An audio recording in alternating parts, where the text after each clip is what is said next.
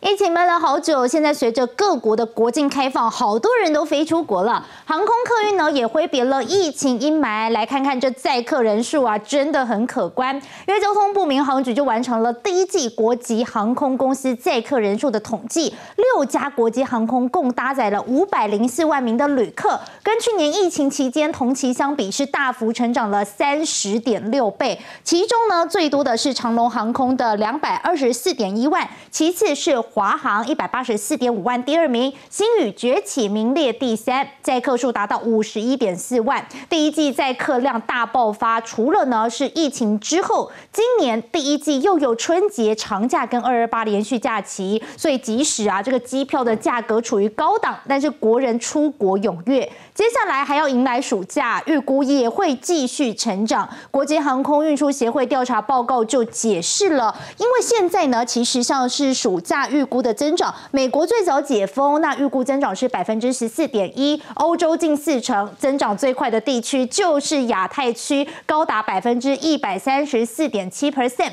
不过呢，这要出国，大家当然就要考虑说，我买机票到底怎么买最便宜，口袋够不够深，怎么买最省钱呢？国内旅游业者就指出了，其实呢，暑假最热门的还是日本，因为六月底到七月初五天的团体行程，卖价大约是在五万元的上。上下比疫情的三万出头呢高约大概六成左右。不过呢，跟今年的春节相比，其实已经是便宜许多了。因为当时啊，光是机票就要卖到四到五万元。不过大家啊都会担心说，哎，我接下来暑假旅游的旺季也会涨价。如果没有早早就买的话，其实现在基本上已经涨价了。但是旅游达人也分享，其实是有 p a p l e 的，因为选择七月初或是八月底去玩。